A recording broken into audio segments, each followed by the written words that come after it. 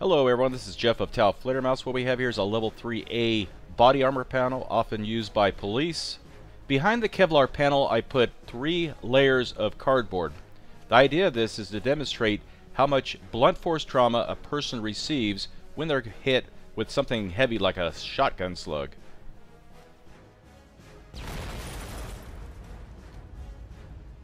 Hey, LBC Sabot. Hit it.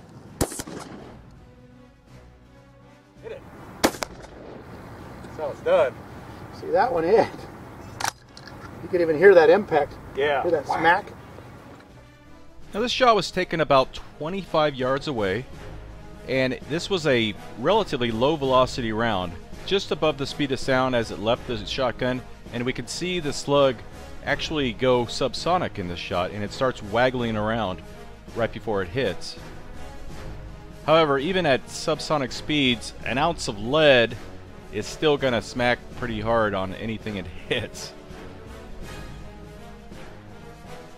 Of course, these are all the same shot that Greg took with three different high-speed cameras. And this one we could see those Sabot petals fluttering around in the air. And a lot of people are confused with these types of slugs. What part is the Sabot and what part is the wadding and all that. So let me explain that. This is called the LBC Sabot and it is loaded just like that and the Sabot petals when it's fired immediately fall off after the slug leaves the barrel. Now these types of slugs are designed for smoothbore shotguns, shotguns without any rifling, and they're very popular in Europe.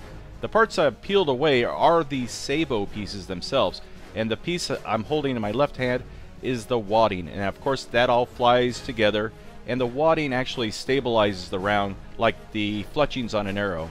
And of course the Sabot pieces just fill the space in the barrel and allow the slug to fly straight down the barrel for more accuracy, because the lead slug itself is subcaliber. We got cardboard behind it. And look, look at this. Three layers of cardboard. Yeah, I just... This shoved the entire vest right through flat. These were flat and original. It shoved the cardboard through here like a newborn baby. like a fish out of water. Wow, look at that. It just took that. That slug's probably inside there. Slug, there it is. Slug and the wadding. Yep. It's actually a high shot, but yeah, it stopped it. That's a power. That's a hard lead slug too. And that uh, wadding is stuck to those Kevlar pieces, so that's yeah. still fused together. Yep. And finally, we have a couple more examples of the LBC Sabot shot at higher velocities. And also, these are the blue version. Some of them they sent were red, some were blue, just so there's no confusion. Anyway, I hope you enjoyed this video. Thank you again for watching.